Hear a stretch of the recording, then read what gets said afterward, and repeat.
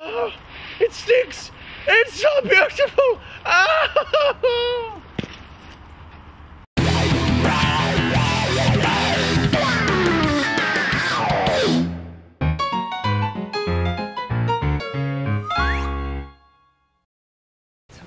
Back in May 2008, Metal Gear Solid 4 set the foundations of a bridge between the film world and the game world. And now, Uncharted 2 Among Thieves has built that bridge.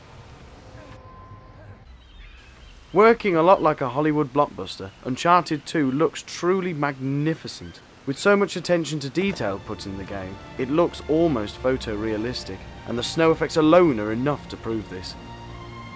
The characters are very well developed and feel realistic and human, and the script is also brilliant, as you actually laugh at the characters' jokes. Oh, Elena Fisher. Last year's model. That's cute. The gameplay makes Tomb Raider look like last year's old knickers, as Nathan does what he's told rather than what he wants to do. And the online gameplay is also brilliant, with cutscenes made specially for the online story. All in all, this game is like a snowstorm. Blinding, big, pretty to look at, and cold. 10 out of 10.